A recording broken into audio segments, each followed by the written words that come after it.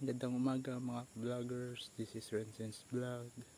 Ngayon po tayo magagas cutter at sana po yung magustuhan po ninyo itong video na to at maraming salamat.